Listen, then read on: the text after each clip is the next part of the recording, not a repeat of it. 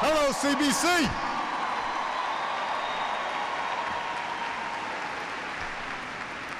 Thank you so much. Everybody have a seat. It is good to be with you here tonight. If it, if it wasn't black tie, I would have worn my tan suit.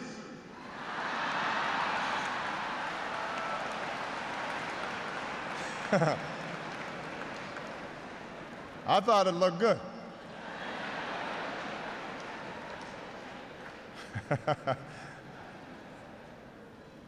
Thank you, Chaka, for that introduction. Thanks to all of you for having me here this evening. I want to acknowledge the members of the Congressional Black Caucus and Chairwoman Marcia Fudge for their outstanding work. Thank you, Shuanise Washington and the CBC Foundation for doing so much to help our young people aim high and reach their potential.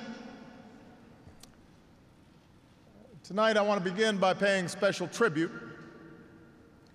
to a man with whom all of you have worked closely with, someone who served his country for nearly 40 years as a prosecutor, as a judge, and as Attorney General of the United States, Mr. Eric Holder.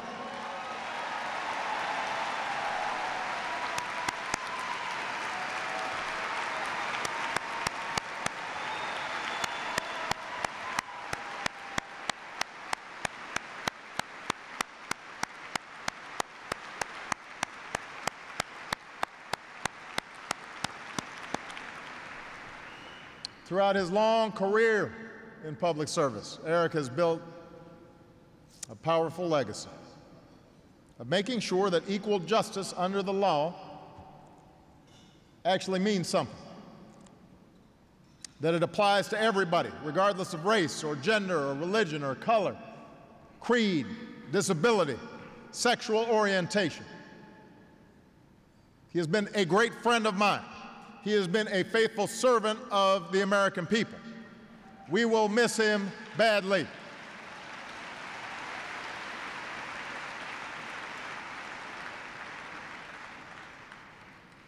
This year, we've been marking the 50th anniversary of the Civil Rights Act. We honor giants like John Lewis, unsung heroines unsung heroines like Evelyn Lowery. We honor the countless Americans, some who are in this room black, white, students, scholars, preachers, housekeepers, patriots all, who with their bare hands reached into the well of our nation's founding ideals and helped to nurture a more perfect union. We've reminded ourselves that progress is not just absorbing what has been done, it's advancing what's left undone. Even before President Johnson signed the Civil Rights Act into law, even as the debate dragged on in the Senate, he was already challenging America to do more and, and march further to build a great society. One Johnson said, where no child will go unfed and no youngster will go unschooled where no man who wants to work will fail to find it, where no citizen will be barred from any door because of his birthplace or his color or his church, where peace and security is common among neighbors and possible among nations. This is the world that waits for you, he said. Reach out for it now. Join the fight to finish the unfinished work. To finish the unfinished work. America's made stunning progress since that time, over the past 50 years, even over the past five years, but it is the unfinished work that drives us forward. Some of our unfinished work lies beyond our borders. America's leading the effort to rally the world against Russian aggression in Ukraine. America's leading the fight to contain and combat Ebola in Africa. America is building and leading the coalition that will degrade and ultimately destroy the terrorist group known as ISIL. As Americans, we are leading and we don't shy away from these responsibilities. We welcome them. That's what America does. And we are grateful to the men and women in uniform who put themselves in harm's way in service of the country that we all love.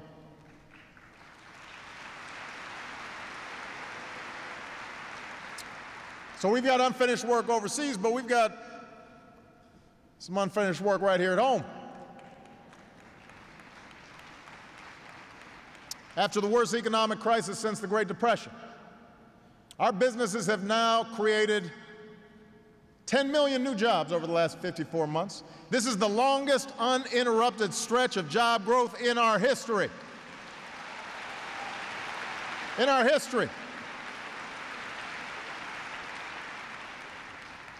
But we understand our work's not done until we get the kind of job creation that means everybody who wants to work can find a job. We've done some work on health care too. I don't know if you've noticed, thanks to the Affordable Care Act, we've seen a 26% decline in the uninsured rate in America. African Americans have seen a 30% decline. And by the way, the cost of health care isn't going up as fast anymore either. Everybody was predicting this is all going to be so expensive. We've saved $800 billion in Medicare because of the work that we've done, slowing the cost, improving quality, improving access. Despite unyielding opposition. This change has happened just in the last couple of years. But we know our work's not yet done until we get into more communities, help more uninsured folks get covered, especially in those states where the governors aren't being quite as cooperative as we'd like them to be. You know who you are.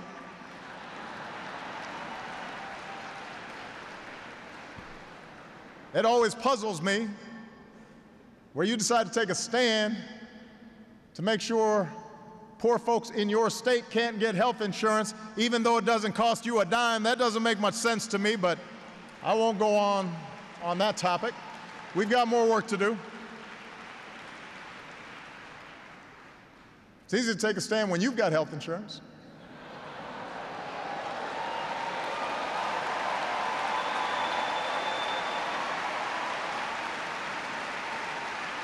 I'm going off script now, but That's what happens at the CBC.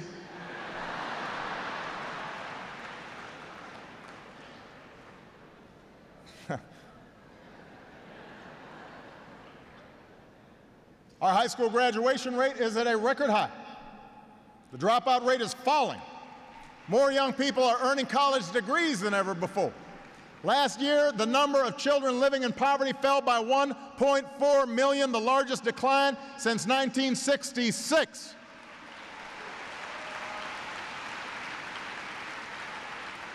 Since I took office, the overall crime rate and the overall incarceration rate has gone down by about 10%. That's the first time they've declined at the same time in more than 40 years. Fewer folks in jail, crime still going down.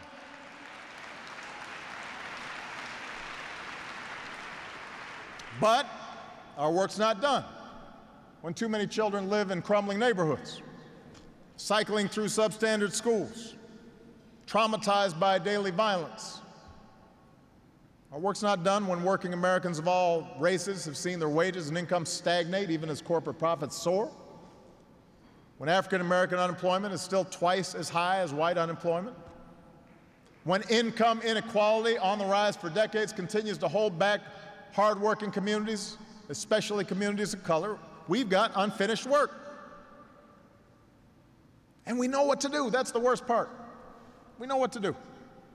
We know we've got to invest in infrastructure and manufacturing and research and development that creates new jobs. We've got to keep rebuilding a middle class economy with ladders of opportunity so that hard work pays off and you see higher wages and higher incomes and fair pay for women doing the same work as men, and workplace flexibility for parents in case a child gets sick or a parent needs some help, we've got to build more promise zone partnerships to support local revitalization of hard hit communities. We've got to keep investing in early childhood education. We want to bring preschool to every four year old in this country. And we want every child to have an excellent teacher. And we want to invest in our community colleges and expand Pell Grants for more students. And I'm going to keep working with you to make college more affordable because every child in America, no matter who she is, no matter where she's born, no matter how much money her parents have, ought to be able to fulfill her God given potential. That's what we believe.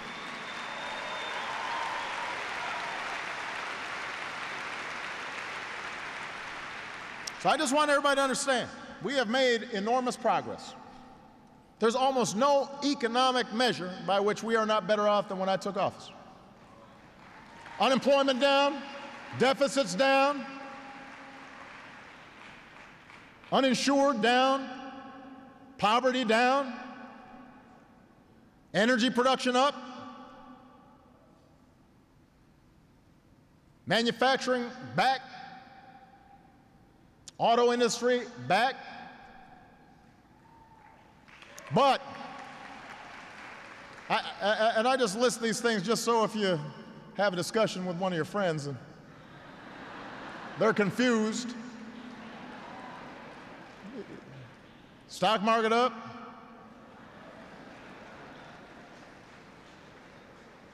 Corporate balance sheets strong. In fact, the folks who are doing the best, they're the ones who complain the most. So you can just point these things out but we still have to close these opportunity gaps.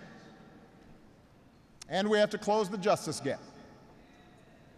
How justice is applied, but also how it is perceived, how it is experienced. Eric Holder understands this.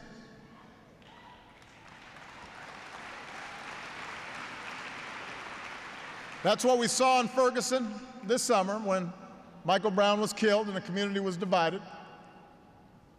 We know that the unrest continues, and Eric spent some time with the residents and police of Ferguson, and the Department of Justice has indicated that its civil rights investigation is ongoing. Now, I won't comment on the investigation. I know that Michael's family is here tonight.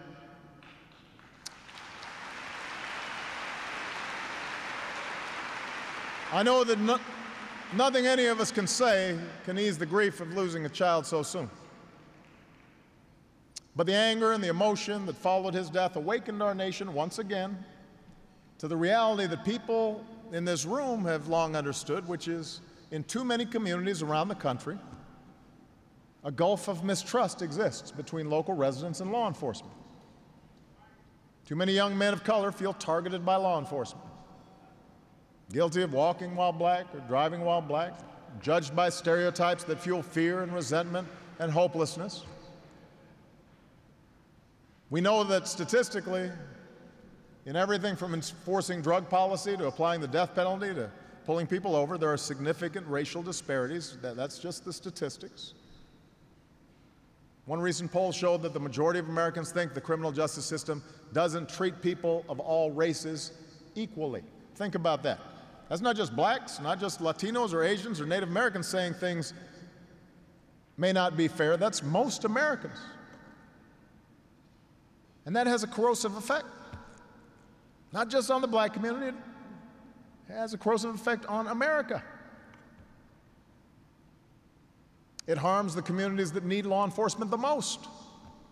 It makes folks who are victimized by crime and need strong policing reluctant to go to the police because they may not trust them. And the worst part of it is it scars the hearts of our children. Scars the hearts of white children who grow unnecessarily fearful of somebody who doesn't look like them. Stains the heart of black children who feel as if no matter what he does, he'll always be under suspicion. That is not the society we want. It's not the society that our children deserve. Whether you're black or white, you don't want that for America. It was interesting. Ferguson was used by some of America's enemies and critics to deflect attention from their own shortcomings overseas. To undermine our efforts to promote justice around the world, they said, well, look at what's happening to you back home. But as I said this week at the United Nations, America's special not because we're perfect. America's special because we work to address our problems, to make our union more perfect. We fight for more justice. We fight to cure what ails us. We fight for our ideals, and we're willing to criticize ourselves when we fall short. And we address our differences in the open space of democracy with respect for the rule of law, with a place for people of every race and religion, and with an unyielding belief that people who love their country can change it. That's what makes us special, not because we don't have problems, but because we work to fix them. And we will continue to work to fix this. And to that end, we need to help communities and law enforcement build trust, build understanding so that our neighborhoods stay safe and our young people stay on track. And under the leadership of Eric Holder, the Justice Department has launched a national effort to do just that. He's also been working to make the criminal justice system smarter and more effective by addressing unfair sentencing disparities, changing department policies on charging mandatory minimums, promoting stronger reentry programs for those who've paid their debt to society.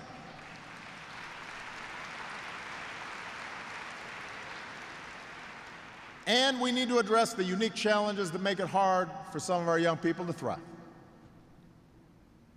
For all the success stories that exist in a room like this one, we all know relatives, classmates, neighbors who were just as smart as we were, just as capable as we were, born with the same light behind their eyes, the same joy, the same curiosity about the world, but somehow they didn't get the support they needed or the encouragement they needed, or they made a mistake, or they missed an opportunity.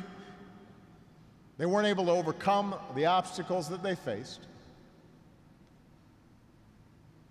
And so in February, we launched My Brother's Keeper. And I was the first one to acknowledge government can't play the only or even the primary role in the lives of our children, but what we can do is bring folks together, and that's what we're doing. Philanthropies, business leaders, entrepreneurs, faith leaders, mayors, educators, athletes, and the youth themselves to examine how can we ensure that our young men have the tools they need to achieve their full potential. And next week I'm launching my Brother's Keeper Community Challenge asking every community in the country, big cities and small towns, rural counties, tribal nations, publicly commit to implementing strategies that will ensure all young people can succeed, starting from cradle all the way to college and a career. It's a challenge to local leaders to follow the evidence and use the resources on what works for our kids. And we've already got 100 mayors, county officials, tribal leaders, Democrats, Republicans signed on. And we're going to keep on signing them up in the coming weeks and months. But they're going to need you, elected leaders, business leaders, community leaders, to make this effort successful. We need all of us to come together to help all of our young people address the variety of challenges they face. And we're not forgetting about the girls, by the way. I got two daughters, I don't know if you've noticed. African American girls are more likely than their white peers also to be suspended, incarcerated, physically harassed. Black women struggle every day with biases that perpetuate oppressive standards for how they're supposed to look and how they're supposed to act. Too often, they're either left under the hard light of scrutiny or cloaked in a kind of invisibility. So, in addition to the new efforts on My Brother's Keeper, the White House Council for Women and Girls has for years been working on issues affecting women and girls of color, from violence against women to pay equity to access to health care. And you know Michelle's been working on that because she doesn't think our daughters should be treated differently than anybody else's sons.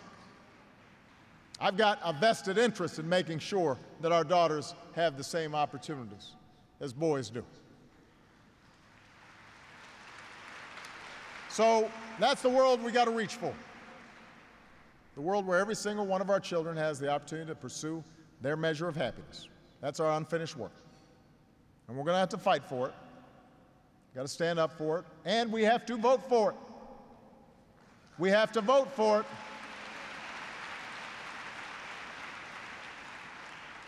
All around the country, wherever I see folks, they always say, Oh, Barack, we're praying for you. Hey, I, boy, you're so gray. Look, you, you, you got all gray hair. You're looking tired. We're praying for you. Which I appreciate. but I tell them, after President Johnson signed the Civil Rights Act, he immediately moved on to what he called the meat in the coconut, a Voting Rights Act bill. And some of his administration argue that's too much, it's too soon. Movement, no, but, but the movement knew that if we rested after the Civil Rights Act, then all we could do was pray that somebody would enforce those rights. So whenever I hear somebody say they're praying for me, I say, thank you. Thank you. I believe in the power of prayer. But we need more than prayer. We need to vote. We need to vote. That will be helpful. It will not relieve me of my gray hair, but it'll help me pass some bills.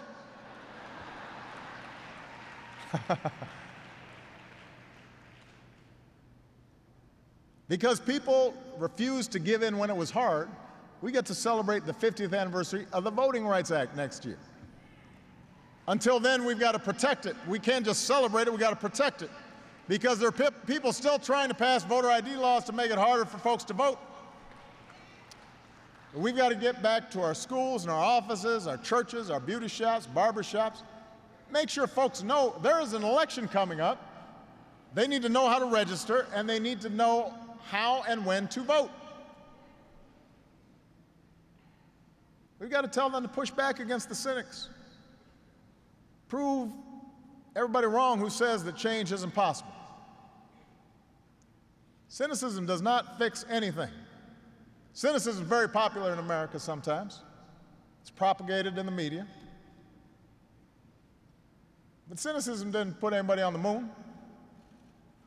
Cynicism didn't pass the Voting Rights Act. Hope is what packed buses full of freedom riders. Hope's what led thousands of black folks and white folks to march from Selma to Montgomery. Hope's what got John Lewis off his back after being beaten within an inch of his life and chose to keep on going. Cynicism is a choice, but hope is a better choice. And our job right now is to convince the people we're privileged to represent to join us in finishing that fight that folks like John started. Get those souls to the polls, exercise their right to vote.